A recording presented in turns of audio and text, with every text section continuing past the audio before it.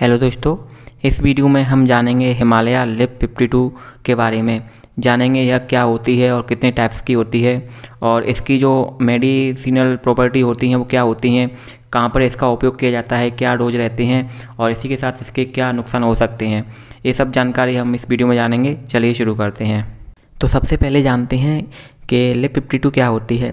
तो Himalaya Liv fifty two एक herbal liver tonic है, जो कि द हिमालय ड्रग कंपनी के द्वारा मैन्युफैक्चर की जाती है। यह एक एपेटो प्रोटेक्टिव हर्बल मिनरल रेमेडी है, यानी एपेटो प्रोटेक्टिव वो मेडिसिन होती हैं या वो रेमेडीज होती हैं, जो कि लीवर के फ़ंक्शन को इंक्रीज करती हैं और लीवर को डैमेज होने से बचाती हैं। ऑल राइट जिसकी वजह से क्या करेगी? जो लीवर में डिसीज होते हैं, उनको ठीक करती है और लीवर के जो फ़ंक्शंस होते हैं, उनको इम्प्रूव करती है। ऑल राइट हिमालय लिप 52 के ऊपर काफ़ी सारी रिसर्च की गई हैं, जिनमें यह पाया गया है कि यह लीवर के लिए काफ़ी इफ़ेक्टिव है और यह हेपेटो प्रोटेक्टिव है, जिसकी वजह से यह लीवर के फ़ंक्शन को इम्प्रूव करती है।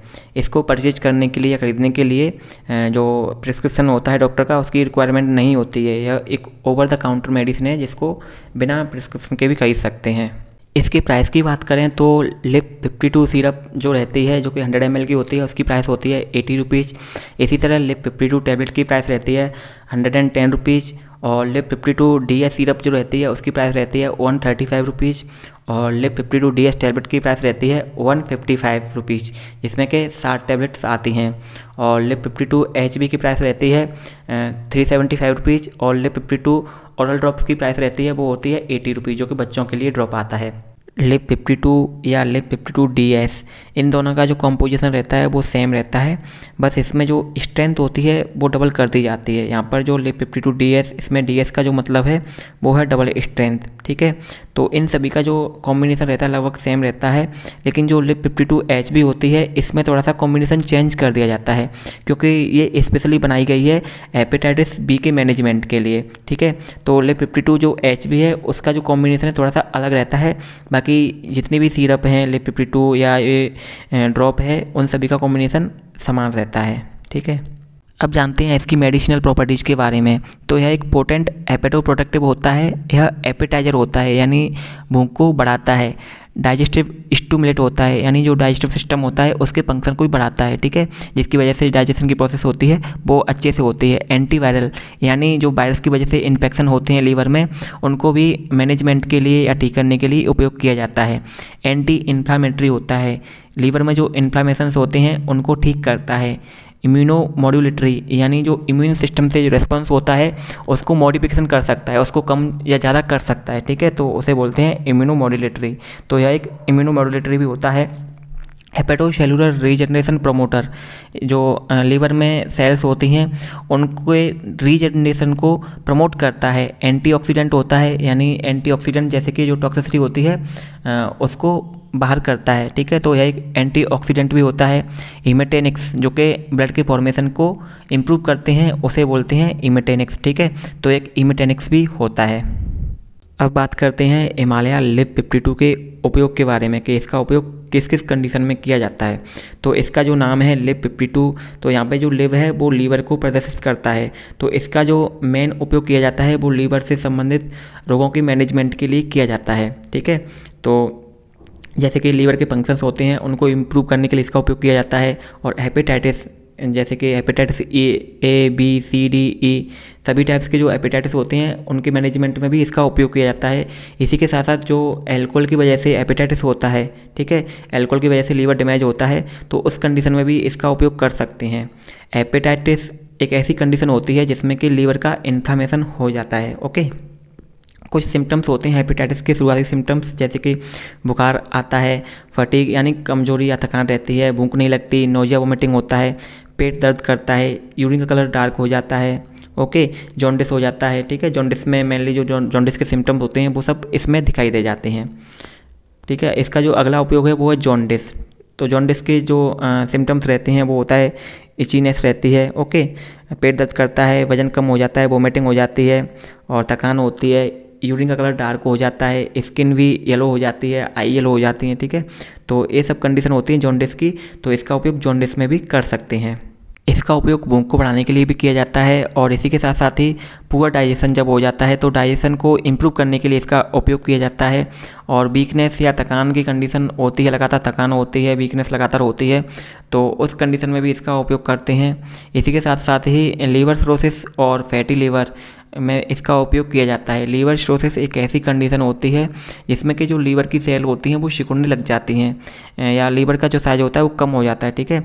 तो इस कंडीशन में भी इसका उपयोग कर सकते हैं। लीवर सोसिस की जो अगली स्टेज होती है, वो होती है लीवर कैंसर तो लीवर सोसिस में भी इसका उपयोग करते हैं, इसी के साथ साथ ही फैटी लीवर में भी इसका उपयोग करते हैं। और इसका उपयोग जो है एनीमिया यानी जो हीमोग्लोबिन कम हो जाता है या खून की कमी हो जाती है, उस कंडीशन में इसका उपयोग किया जाता है। Anorexia nervosa. यह एक ऐसी कंडीशन है जिसमें कि पेशेंट को डर रहता है कि मेरा वज़न न बढ़ जाए, ठीक है? वज़न न बढ़ने के डर से वो खाना छोड़ देता है या फिर जो खाना खाता है, उसको वो वोमिटिंग के थ्रू बाहर निकाल देता है, ठीक है? तो इस कंडीशन से बचने के लिए भी इसका उपयोग किया जाता है। माइल्ड कॉन्स्टिपेशन में इसका उपयोग किया जाता है और प्रोटीन एनर्जी माल न्यूट्रिशंस में इसका उपयोग किया जाता है। एपेटोटॉक्सिसिटी यानी लीवर में जो टॉक्सिसिटी हो जाती है या जहर बन जाता है उसको ठीक करने के लिए, उसके मैनेजमेंट के लिए इसका उपयोग कर सकते हैं। हो सकता है वो हेपेटोटॉक्सिसिटी या जो लीवर में जो टॉक्सिसिटी हुई है, वो मेडिसिन की वजह से हो हो सकती है, या कीमोथेरेपी की वजह से हो सकती है, या फिर किसी और केमिकल की वजह से हो सकती है तो उन सभी कंडीशन में इसका उपयोग किया जाता है। और भी इसके कई सारे उपयोग हैं, जैसे कि डेंगू के फीवर में भी इसका उपयोग करते हैं, या फिर जब मलेरिया या डेंगू से रिकवर करते हैं तो उस कंडीशन में भी इसका उपयोग किया जाता है। तो ये थे इसके उपयोग। इसके डोज की बात करें तो लिप फिफ्टी टू सिरप का जो डोज रहता है बच्चों में पाँच एम दिन में तीन बार और एडल्ट में इसका जो डोज रहता है वो होता है टेन एम दिन में तीन बार, okay? Liv fifty two tablet का जो डोज रहता है चिल्ड्रन में, one tablet three times a day, यानी एक टैबलेट देनी है दिन में तीन बार, ओके? और एडल्ट में वहीं इसका जो डोज रहता है वो रहता है टू टैबलेट्स, यानी दो टैबलेट देनी है दिन में तीन बार। Liv fifty two D S syrup का जो डोज रहता है बच्चों में रहता है two point five M L दिन में तीन बार और एडल्ट में इसका डोज रहता है फाइव एम एल दिन में तीन बार। और इसमें जो टैबलेट होती है Liv fifty two D S तो बच्चों में इसका जो डोज रहेगा वो रहेगा हाफ़ टैबलेट दिन में तीन बार और एडल्ट में वन टैबलेट दिन में तीन बार okay Liv fifty two drops के डोज की बात करें तो इन्फेंट्स जिनकी age zero to six months होती है, उनमें पाँच बूंद देनी होती है दिन में तीन बार, और जिनकी एज सात से बारह महीने की होती है, उनमें दस बूंद देनी होती हैं दिन में तीन बार, ओके?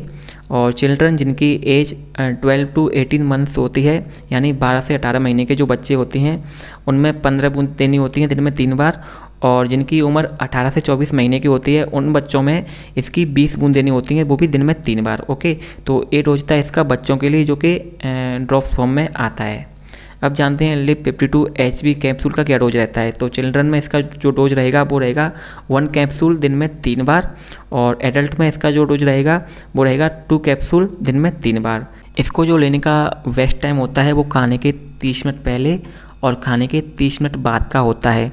जिस किसी में भी भूख, की शिकायत रहती है, भूख कम लगती है, ठीक है कॉन्स्टिपेशन होता है या लीवर फ़ंक्शंस प्रॉपरली वर्क नहीं करते हैं तो उस कंडीशन में इसको खाने के तीस मिनट पहले दिया जाता है।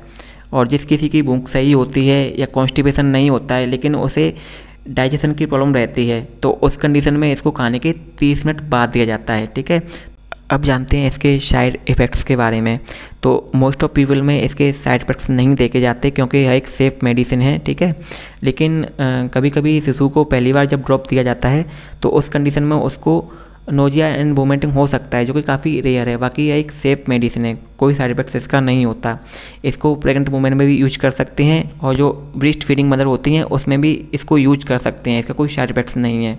तो दोस्तों, यह थी जानकारी हिमालय लिप फिफ्टी टू के बारे में। आई होप आपको यह जानकारी अच्छी लगी होगी। यदि आपको यह जानकारी अच्छी लगी है तो आप वीडियो को लाइक और शेयर करें। ऐसी और वीडियो देखने के लिए हमारे चैनल को सब्सक्राइब करें। Thanks for watching